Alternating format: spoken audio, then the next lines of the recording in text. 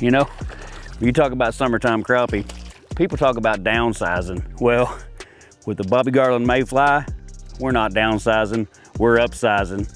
Early morning in the summer, our water temperature starts out 84, 85 degrees. And as that temperature climbs, we find our water temperatures 88 to 95 degrees sometimes. What that does is that pushes me offshore farther to those deeper brush piles, deeper creek channels, where those crappie can get off in that deeper water to stay cool. Summertime, I usually start out with the double jig rig. That allows me to target those most aggressive fish that are up high in the water column, that are up on top of the stumps or up on top of the brush piles. I can throw that double jig out there and reel it right above their head and that'll trigger the most aggressive fish early in the morning. A trick to keep in mind when you're throwing the double jig rig is to tie your heavier jig above your lighter jig and that way whenever you reel this you have control of your heavier jig and it allows that lighter jig to do its own thing behind the heavier jig.